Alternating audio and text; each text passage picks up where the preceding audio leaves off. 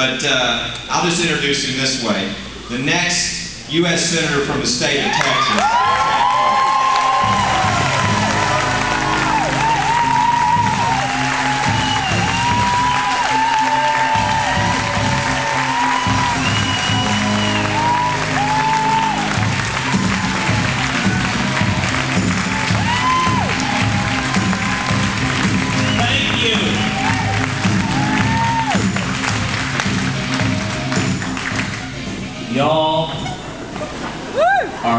Incredible.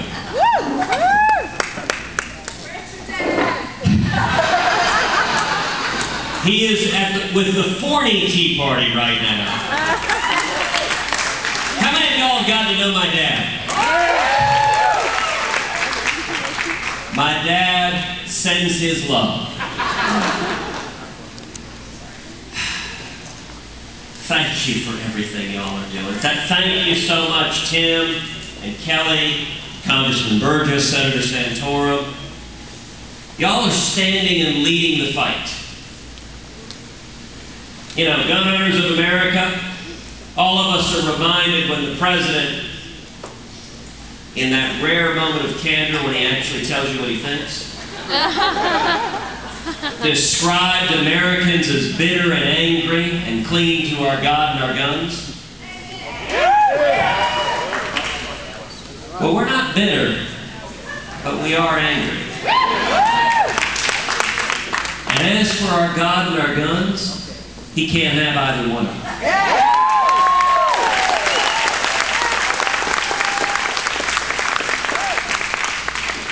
You know, Kelly has been chairing our statewide leadership team from when we announced this campaign a year and a half ago. And I'll tell you, Kelly has devoted his life to fighting for the Constitution, to fighting for religious liberty. I have been so honored over and over and over again to be in the trenches with Kelly, whether it's defending the Mojave Desert Veterans Memorial, or the Ten Commandments Monument, or the Pledge of Allegiance, or the moment of silence in Texas. Over and over again, Kelly is leading the fight, and I I am honored to bear the scars of standing side by side in the foxhole with him.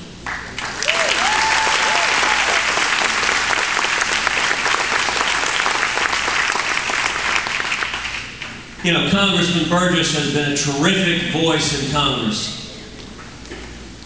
for, in particular, the impact of Obamacare on our health care. How many of us, when you have a challenging health issue in your family, either with you or a loved one, your mom or your dad, how many of you want to go and sit down with your doctor and, and your friendly neighborhood government bureaucrat and discuss the proper treatment for your loved one? I'll tell you, when Congressman Burgess courageously endorsed me in this campaign, what he shared with me, if I can share, he said, Listen, I'm so frustrated. There's so many people up here in Washington, so many Republicans in Washington, who won't stand for anything.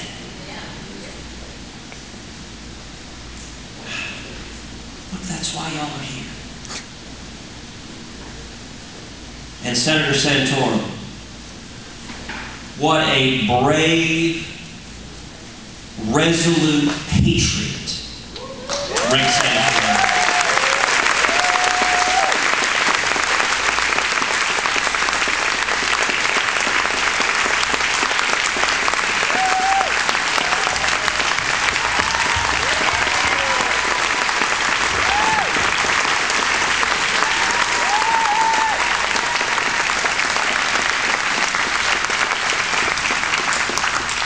You know, there are very few things I've seen in politics as inspirational as what Senator Santorum did this year in the presidential race.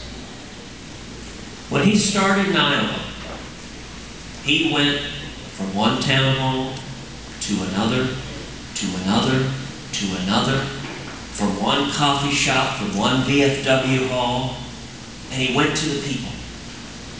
I remember him saying he went to one town hall that had six people. Six people, less than, less than one table. And you know, when you're running for president, you go to an event and six people show up. The kind men and women in the media are not so kind to you. and it was an incredible testament. There were gazillions of dollars spent on the other side. And Senator Santorum went one after the other after the other to listen to the people and say, look, at the end of the day, y'all are making this decision. And it was an extraordinary testament to principle and the commitment to the understanding that we, the people, are the ones responsible for every election in this country. But I'll tell you who I want to thank more than anyone who walked on this stage is each and every one of you.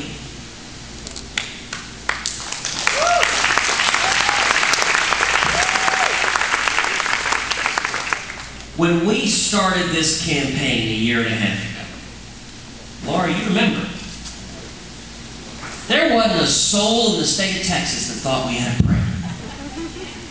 We were at 2% in the polls.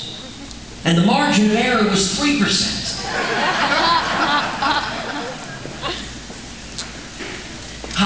that, means technically we could have been at negative 1. It might well have been the case that 1% of Texas voters would go in at that point and write in on the polls, not Cruz. And what has happened has been extraordinary. It has been a testament to conservatives across Texas. It has been a testament to the men and women who came out here today on a hot July Texas day because we love our nation. And we're going to stand up and use it.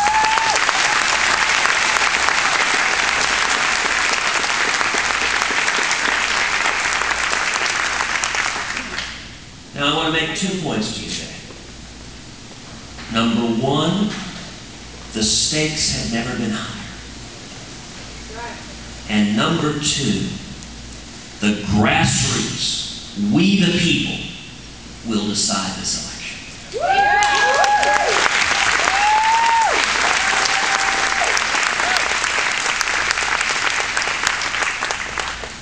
The stakes have never been higher. Our nation is in crisis. The national debt is larger than the gross domestic product. You know, in many ways, we are very, very fortunate right now because we have foreshadowing playing out in front of us. We can look across the Atlantic at what's happening in Greece and Italy and much of Europe. And that is the path we are headed down if we don't stand up and stop it. As Margaret Thatcher said, the problem with socialism is eventually you run out of other people's money. And let me tell you, you know, it, it is so easy to watch TV, to read the newspapers, and to be demoralized. To be let down about where our country is going. If you hear nothing else today, hear this. I am here with a word of encouragement and exhortation.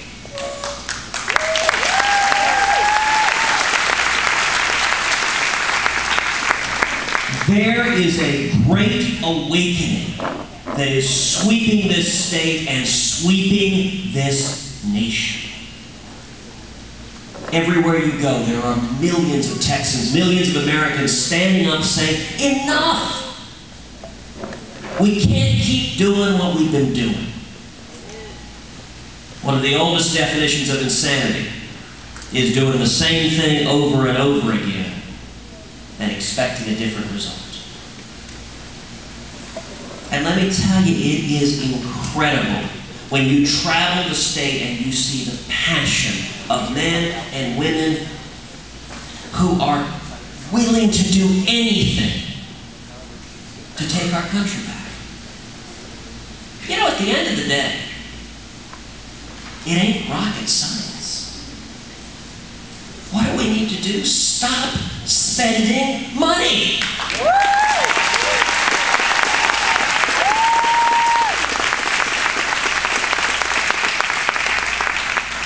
If any one of us ran our businesses or our homes the way the federal government is running, we'd be bankrupt. We'd be sleeping under a bridge. And that's why the American people are standing up and they're saying enough already.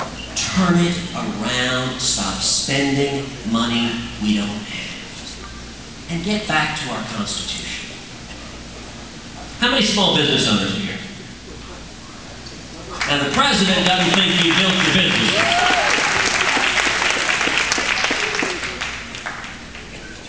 And you know, just a few weeks earlier, the president shared his thoughts that the private sector is doing just fine.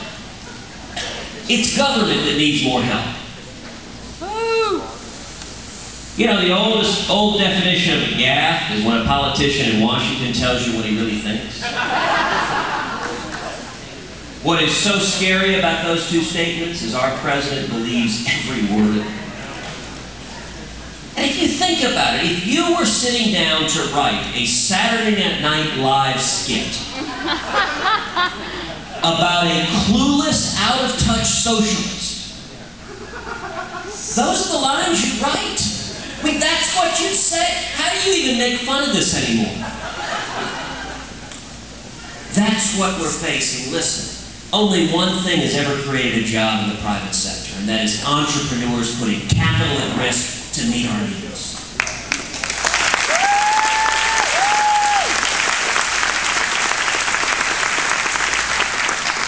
I grew up as the son of two small business owners in Houston.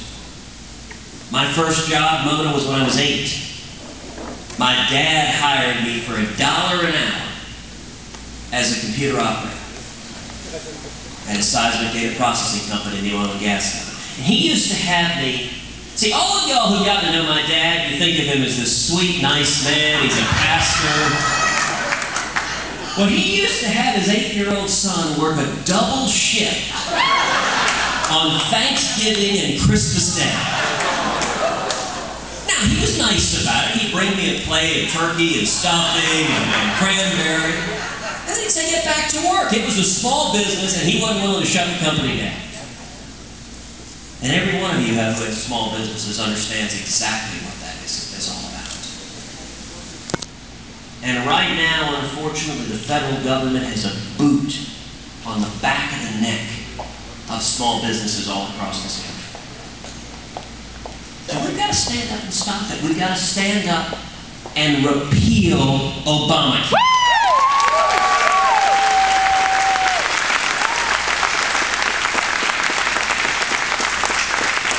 And we've got to stop this abuse of executive authority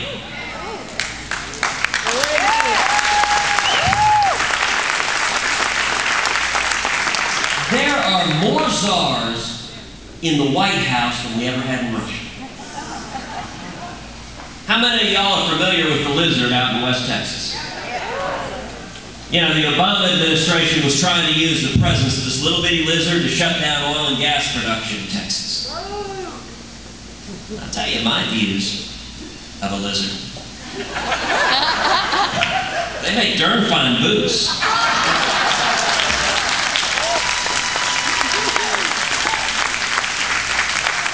Our land commissioner was fond of saying we had a reptile dysfunction.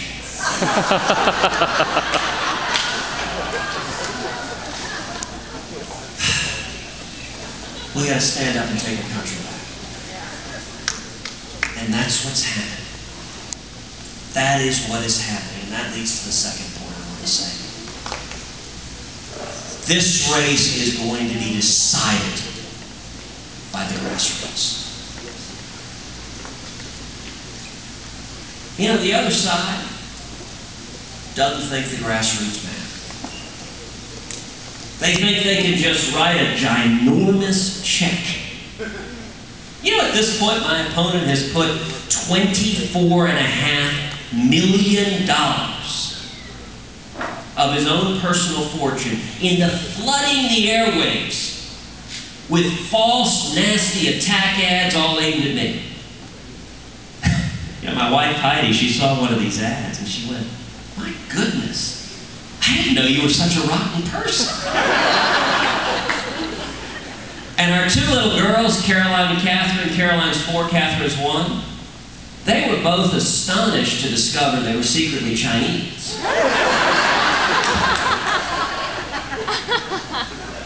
Everything that money can buy will be aimed at us in the next three days. And yet, I'll tell you, given the choice between a pile of gold or standing with the grassroots conservatives of the state of Texas, it ain't even close to where I'd rather be.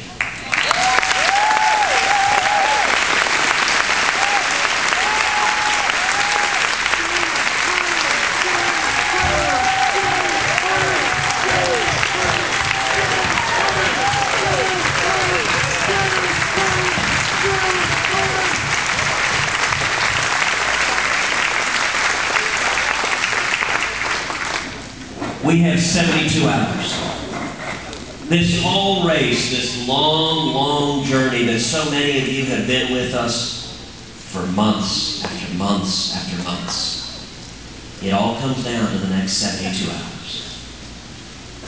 To use a football analogy, and one that I think Senator Santorum will, will like, we're on the two yard line. It's the very end of the game. We have marched the entire length of the field. We started out deep in our own end zone. Heck, we started out in the hot dog stand. and the other side has recruited the 1978 Pittsburgh Steelers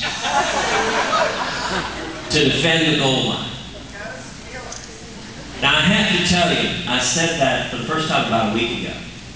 And someone called out and said, That's great, they're all old men.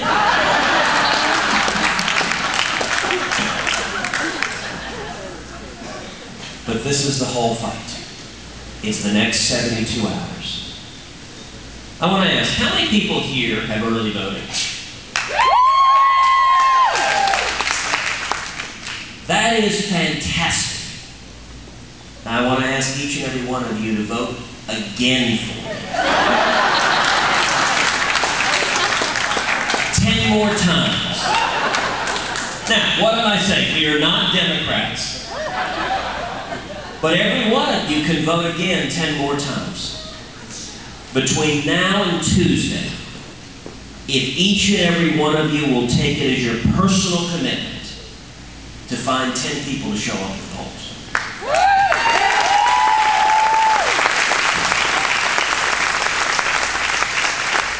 If every one of you will get on the phone, call your friends, call your neighbors, call everyone you know, and say, listen, this race matters, and I know this guy. Please take 10 minutes on Tuesday, go down to the polls, and pull the lever for Ted. That is the power of the grassroots. If everyone here gets 10 people, that will have an enormous impact on this race. We have sign up sheets by the door. We've got a 72 hour strike squad that is phone banking, that is block walking, that is working night and day. I ask for every moment you can give because the whole fight is these next 72 hours.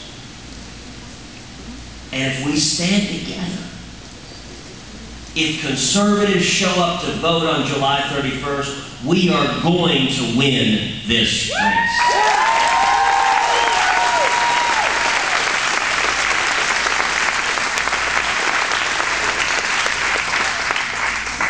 I want to close with talking a little bit about why every one of us is here.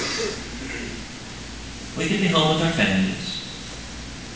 We could be watching the Olympics.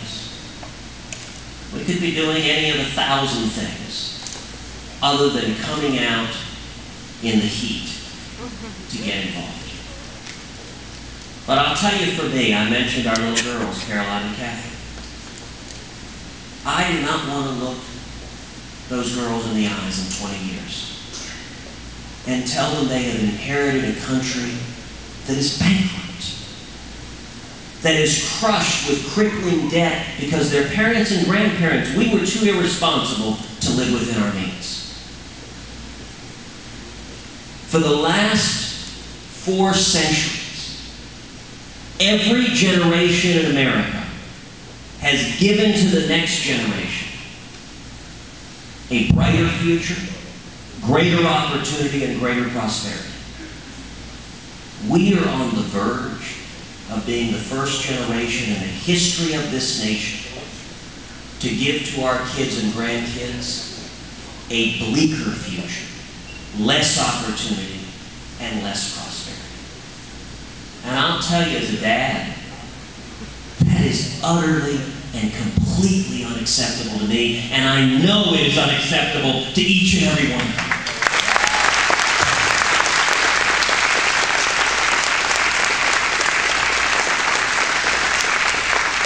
That's why we're here. What the stakes are. Our nation is at the edge of a cliff. If we keep spending like we've been spending, if we keep eroding the Constitution and stripping away our liberties, our kids and grandkids will have nothing left.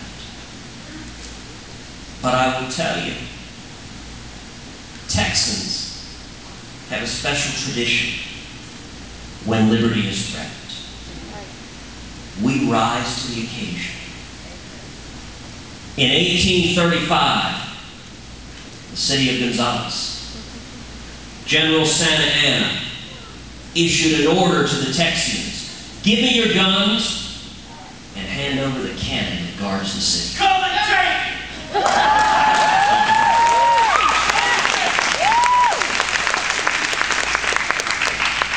That's what it means to be a Texan.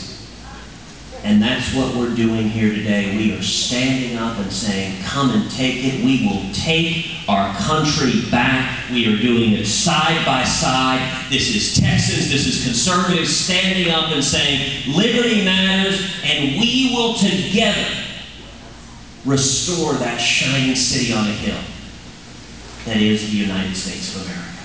God.